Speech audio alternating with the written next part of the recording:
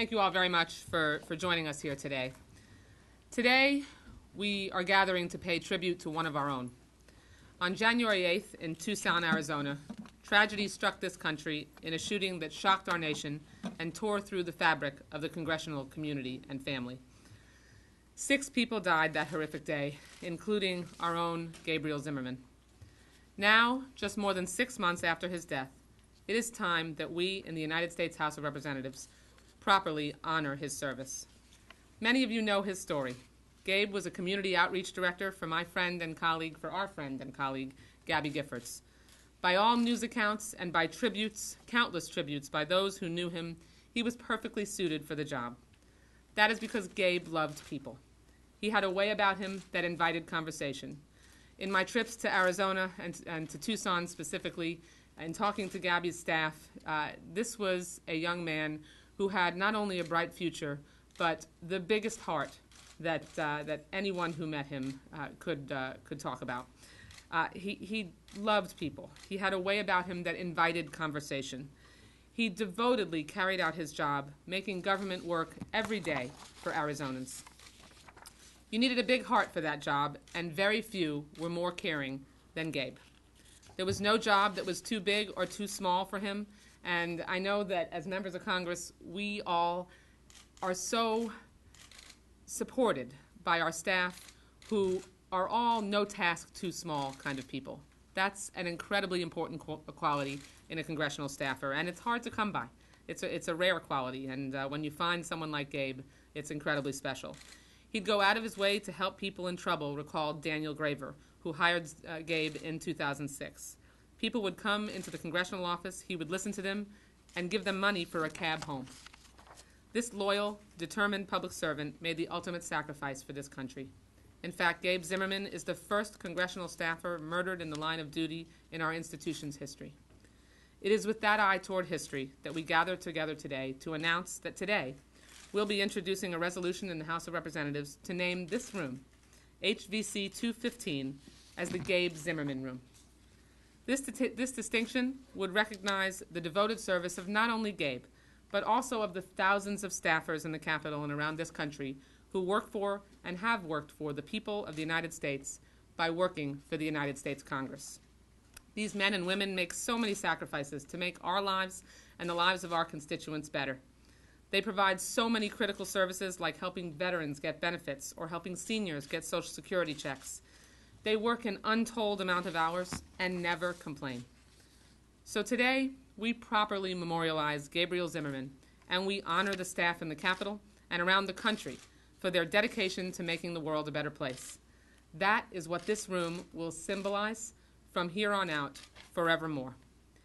To help shed some light on who Gabe was as a person and his dedication to serving the people of Southern Arizona, it is my incredible privilege to introduce Gabe's mom, Emily Nottingham. Emily? Thank you. And thank you to Congresswoman Wasserman Schultz and to Congressman Schweikert for introducing this resolution and to the support of the entire Congress, the Arizona delegation. It means a lot to us. My son Gabe was killed while helping Congresswoman Giffords carry out some of the most important work uh, of Congress, listening to the people back in her district. Also, to folks who were in line that day at the grocery store in Tucson. People with questions, strong opinions, and personal needs. And a child who just wanted to see democracy at work. It's right to honor Gabe here at the Capitol, where Congress is charged with responding to the needs of those people who stood in that line at that grocery store and to all Americans by crafting our nation's laws. While he was the first congressional staff person in the United States history to be killed in the line of duty, it's not his death, but his work and his ideals that should be recognized here. Ideals shared by thousands of congressional staff people over hundreds of years of our nation's history. Gabe thought a lot about and cared about the importance of civic engagement in an open civil society. That concept, that goal, which is a, a cornerstone of our democracy, can be remembered in this room, along with an idealistic young man who died trying to carry it out. Thank you. Thank you very much. Just want to take a minute to introduce uh, our colleague, Dave Schweikert, uh, an incredible representative who uh, agreed from day one to, uh, to join me in introducing this resolution and, uh, and has been doing a fantastic job representing his constituents in Arizona. Dave? Thank you, Congresswoman, and Mom and, and Ben.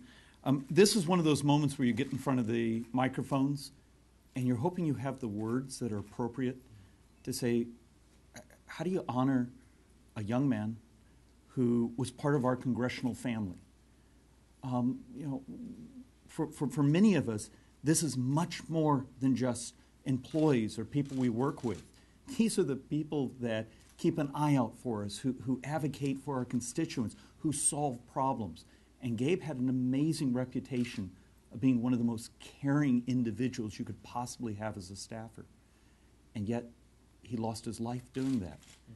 And we stand here today to try to honor, um, honor his gift, honor the wonderful things he did for the community, but also honor our entire congressional families that we do care, we do love you, and it is a, a right thing to do, naming something as simple as this room for the wonderful things he did for Arizona, for his district, but also for the family.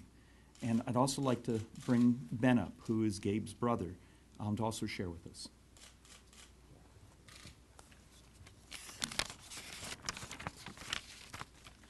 Well, thank you. And again, I'd like to thank Congresswoman Wasserman Schultz and Congressman Schweikert, as well as the other members of the Arizona delegation for introducing this resolution that would name this room in honor of my brother, Gabriel Zimmerman. Uh,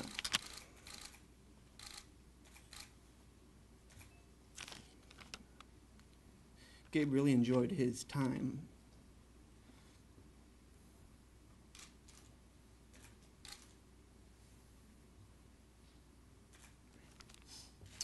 For Congressman Giffords.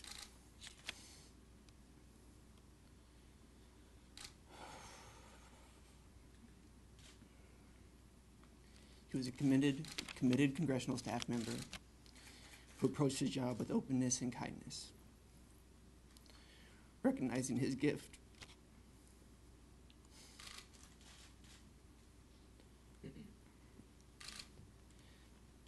he tried to use his talents selflessly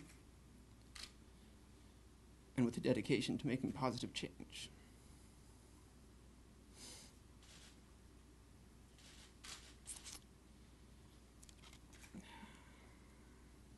While Gabe's life was cut tragically short, what he taught me in that short time is that small acts of kindness can make a tremendous difference.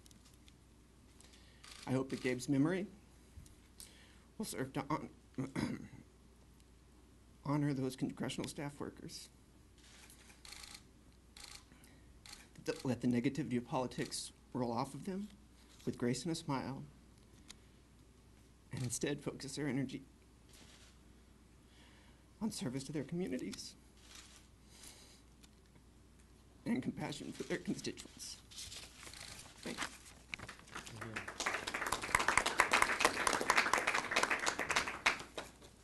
Good afternoon. I'm Congressman Ed Pastor, represent the 4th District of Arizona.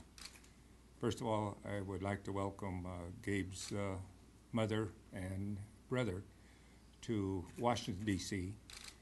as we introduce this resolution urging our leadership to quickly bring the resolution to the floor so that we can pass the resolution and name this room in the honor of Gabriel Matthew Zimmerman.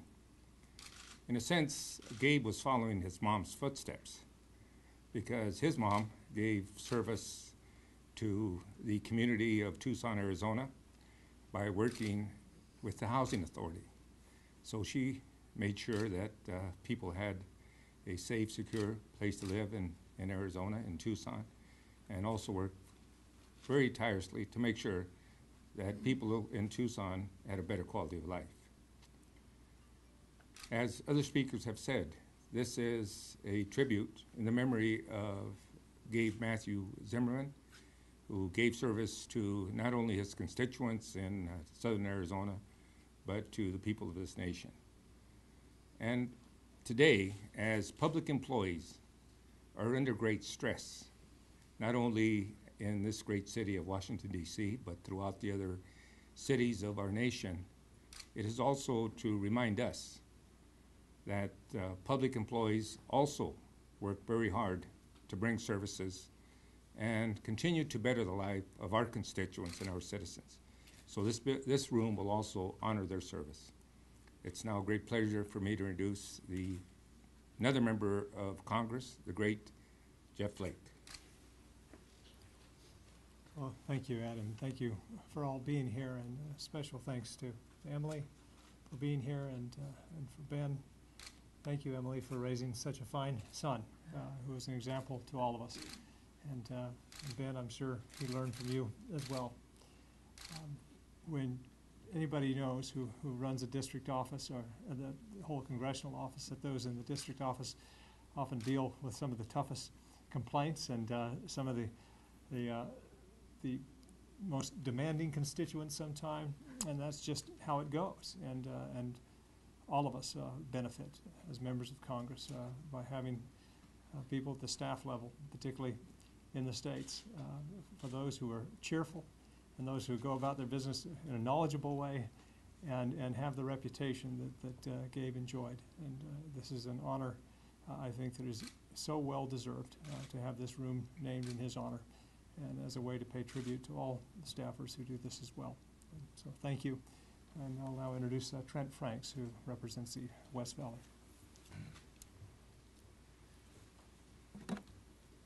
Well, it's a, it's a precious honor for me to be here today with all of you. It is altogether right and fitting that we should remember uh, Gabe Zimmerman because he personified what uh, so many young people try to reach for in life. He had a life committed to serving others, and there's no more noble uh, commitment on this earth than that. And uh, from now on, when people walk through this room, his name will be remembered. And we will recognize that uh, uh, all of our lives are so, so brief and that we should be about those things that uh, animated his own spirit. And so I, um, this moment, uh, honor Gabe Zimmerman in this place that he will be remembered for in this capital more than any other, perhaps. I think sometimes it's easy for us uh, to focus on the person who lost their life in a situation like this. But all too often, it's easy for us to forget uh, the pain that is felt by a mother and a brother, uh, by those who knew him better than the rest of us. Um, it is said that uh, uh, the love of a brother for a brother endures like the stars. And certainly, I think all of us would recognize that the love of a mother for her child is simply beyond expression. And none of us can feel the burden that they do. None of us know the, the uh, hurt that is laid on their broken shoulders. But uh, today, I just want to tell them that I think their son and their brother would be very, very proud of them for being here and for remembering him as they do. And um, I just remind them that he waits on the balcony for them and that uh, uh, this miracle of life is indeed just that. And we have not heard the last from Gabe Zimmerman.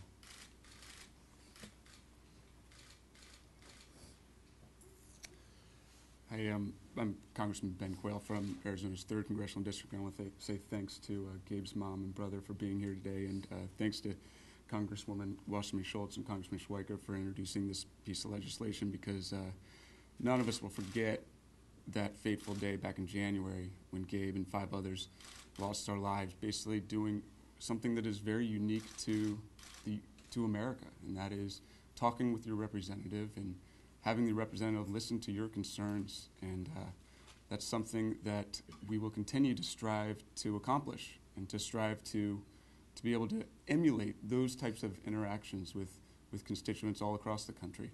And uh, you know, it's been said here today but it, I think it needs to be said one more time, is that Gabe and other staff members, I mean, they're the ones that make the engine run. They're the ones who really are the one, the unsung heroes.